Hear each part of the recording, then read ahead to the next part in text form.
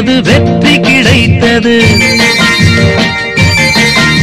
சாவு வீழ்ந்தது வெற்றி கிடைத்தது. இயேசு உயிர்த்தார் அல்லேலுயா.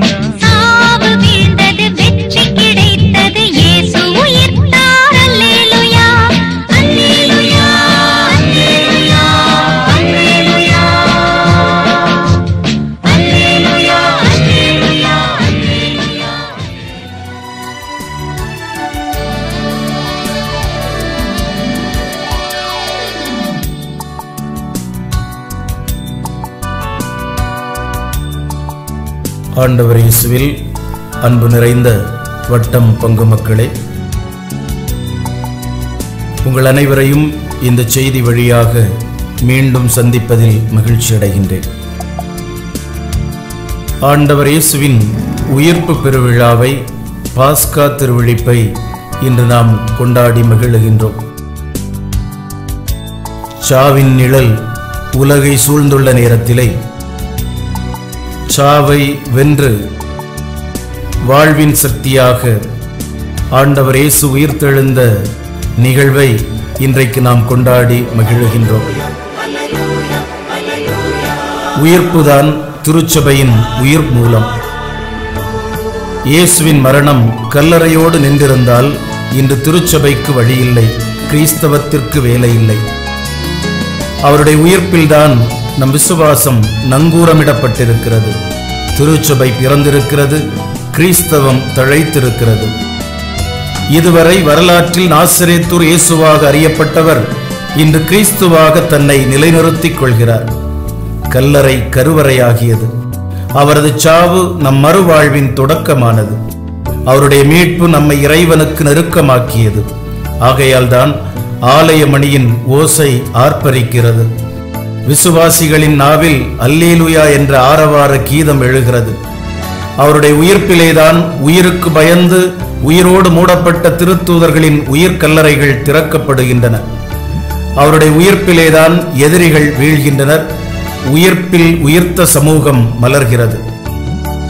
அவருடைய உயிர்ப்பிலே திருச்சபையின் எழுச்சி அடங்கியுள்ளது. அவரை கொன்றுவிட்டோம் என்று எல்லாம் நிறைவேற்றப்பட்டு விட்டது என்றும் இருமாந்திருந்தவர்கள் வாழ்வில் தேக்கம் ஏற்பட்டது.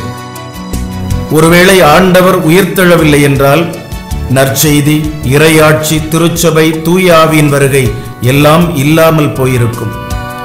ஆகையால் திருச்சபை உயிர்ப்பு பெருவிழாவை மிகுந்த சிரத்தையுடன் கொண்டாடுகிறது. அல்லேலூயா அனைவரின் புகழ்ச்சி கீதமாகிறது. கிறிஸ்து உயிருடன் எழுப்பப்படவில்லை என்றால் நாங்கள் பறைசாற்றும் நற்செய்தியும் நீங்கள் கொண்டிருக்கிற நம்பிக்கையும் பொருளற்றதாகி இருக்கும் என்கிறார் தூய பவுலடிகளார். ஆகையால்தான் உயிர்ப்பிலே ஒரு புது வாழ்வு அனைவருக்கும் பிறக்கிறது. அவர் சிலுவையில் கிடைத்த வெற்றியால் நமக்கு மீட்பு தந்தார். நாம் இறைவனுக்கு ஏற்புடையவர் ஆகுமாறு உயிர்த்தெழுந்தார் இப்படி அவருடைய உயிர்ப்பிலேதான் நமக்கு நிறைவு ஏற்படுகிறது. ஆகையால்தான் திருச்சபையின் திருவழிபாடு அனைத்தும் உயிர்ப்பு பெருவிழாவை மையப்படுத்தி ஆண்டவரின் உயிர்ப்பு நாளான ஞாயிறை மையப்படுத்தி அமைந்திருக்கிறது. வழிபாட்டு காலம் கூட ஈஸ்டரை மையப்படுத்தி தீர்மானிக்கப்படுகிறது. அப்படிப்பட்ட சிறப்புமிக்க உயிர்ப்பு பெருவிழாவை இன்று நாம் கொண்டாடி மகிழுகின்றோம்.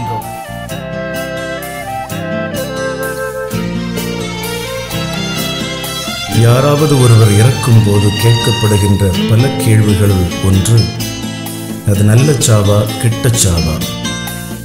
யூத மரபில் நல்ல மரணம் என்பதற்கு மூன்று காரணிகளை வகுத்திருந்தனர். ஒன்று முதிர்ந்த வயதில் இறக்க வேண்டும். இரண்டு தனக்கு பின் சந்ததியை விட்டுச் செல்ல வேண்டும். மூன்று தனக்கென்று சொந்த கல்லறை வைத்திருக்க வேண்டும். இயேசு இறந்தது முப்பத்து மூன்று வயதில். வாழ வேண்டிய வயது. இறப்பும் சாதாரண இறப்பு அல்ல. சமூக புறக்கணிப்பு சமய புறக்கணிப்பு அரசியல் புறக்கணிப்பு ஆகியவற்றால் நிகழ்த்தப்பட்ட ஒரு படுகொலை. அவமானத்தின் சின்னமாகிய சிலுவையில் இறக்கின்றார். அவருக்கென்று சந்ததியும் இல்லை. தன் இறையாட்சியின் விழுதுகளாக அவர் கருதிய திருத்தூதர்களும் சீடர்களும் கூட கைவிட்டு ஓடிவிட்டனர். இறந்த பின் உடல் அடக்கம் செய்யப்பட்டது இரவல் கல்லறையில் இந்த மூன்று நிலைகளிலும் இயேசுவின் சாவு கெட்ட சாவுதான். இந்த கெட்ட சாவு இன்று உன்னத உயிர்ப்பாக மாறியிருப்பதை கொண்டாட வந்திருக்கின்றோம். இயேசுவுடன் உண்டு உறங்கி வழிநடந்து பயணம் செய்த சீடர்கள் அல்ல மாறாக அவருடைய எதிரிகள்தான் அவருடைய உயிர்ப்பை பெரிதும் எதிர்பார்த்திருந்தனர். பரிசெயர்கள் மறைநூல் அறிஞர்கள் பிலாத்து தலைமை குருக்கள் ஆகியோர்தாம் அவர் உயிர்ப்பாரா என்பதனை உன்னிப்பாக கவனித்துக் கொண்டிருந்தனர். கல்லறைக்கு காவல் போட்டதனுடைய பின்னணியே இதுதான். இயேசுவின் உயிர்ப்பு நமக்கு மூன்று பாடங்களை கற்பிக்கின்றது. இந்த நிலையும் கடந்து போய்விடும் என்பது முதல் பாடம். அரசன் ஒருவன் எல்லா நிலையிலும் இன்பத்திலும் துன்பத்திலும் வாழ்விலும் சாவிலும் சிரிப்பிலும் அழுகையிலும் வளமையிலும் வறுமையிலும் பயன்படும் ஒரு மந்திரத்தை கண்டுபிடிக்க நினைக்கிறான். அவனது கேள்விக்கு பதிலாக புத்தர் கண்டுபிடித்ததுதான் இந்த மந்திரம். இந்த நிலையும் கடந்து போகும். இயேசுவுக்கு தெரிந்தது எல்லாம் கடந்துவிடும் என்பதுதான். ஓசன்னா கடந்துவிடும் குருத்தோலைகள் கடந்துவிடும் கெத்சமனி கடந்துவிடும் பிலாத்தின் அரண்மனை கடந்துவிடும். ஏரோதின் மாளிகை கடந்துவிடும். சிலுவை பாடுகள் கடந்துவிடும். எல்லாம் கடந்துவிடும். இறப்பையும் கடந்துவிடும் என்று. இறப்பை கடத்தியது இயேசுவின் உயிர்ப்பு. நம் அன்றாட வாழ்க்கை நிகழ்வுகளில் நமக்கும் எல்லாம் கடந்துவிடும் என்பதை நம் ஆண்டவரின் உயிர்ப்பு முதல் பாடமாக வைக்கின்றது. கொரோனா நோய் அச்சுறுத்தல் ஏற்பட்டிருக்கக்கூடிய காலத்திலே இதுவும் கடந்துவிடும் என்ற நம்பிக்கையில் ஆழப்படுவதற்கு ஆண்டவரின் உயிர்ப்பு நம்மை அழைக்கின்றது. இரண்டாவது பாடம் அவர் இங்கு இல்லை என்பது. மனிதர்களின் கல்லறைகளிலும் மகாத்மாக்களின் கல்லறைகளிலும் கல்லறை வரிகள் எழுதி வைப்பது மரபு. ஆசிய ஜோதி இங்கே துயில் கொள்கின்றது என்பது நேருவின் கல்லறை வரிகள். இவன் ஒரு தமிழ் மாணவன் என்பது போப் ஐயரின் கல்லறை வரிகள். அவர் இங்கு இல்லை என்பது இயேசுவின் கல்லறை வரிகள்.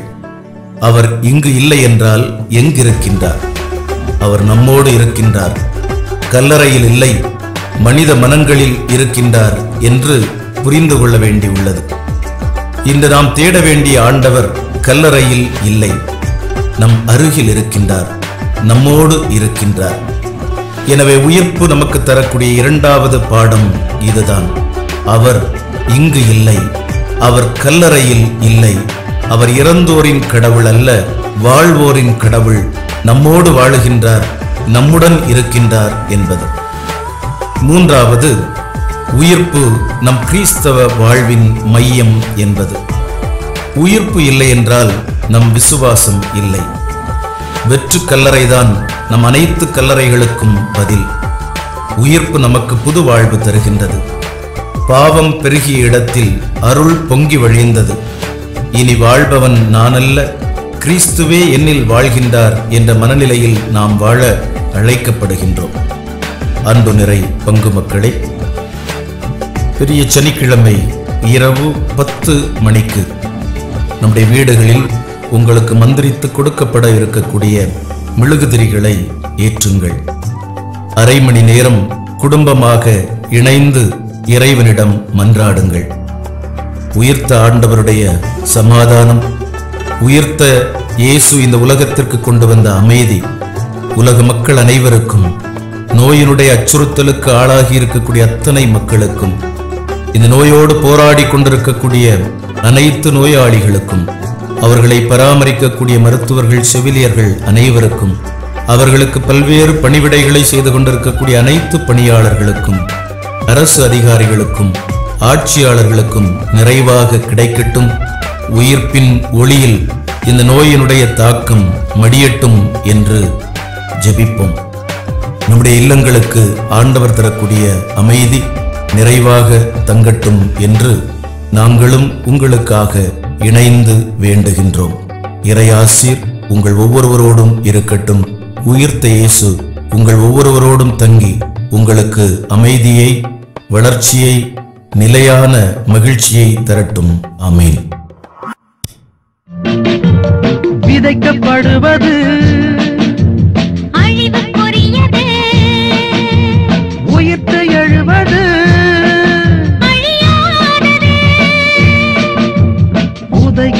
வலுவற்றது உயிர்த்து எழுவதோ? மண்ணில் விழுந்து மடியும் விதைகள் எழுந்த போது